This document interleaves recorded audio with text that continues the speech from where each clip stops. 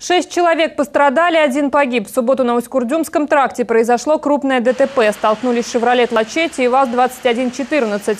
Водитель отечественного автомобиля не справился с управлением, выехал на встречку и протаранил иномарку. В результате аварии пострадали шесть человек. Травмы получили пассажиры и водитель 14 а также все, кто находился в Лачетте. Их доставили в больницу. Одного пассажира довести не успели. Он скончался по дороге в карете скорой помощи. Обе машины получили серьезные повреждения. Для извлечения пострадавших спасателям пришлось распиливать каркас и крышу отечественного автомобиля. Также в 21.14 находился ребенок, который был тоже госпитализирован.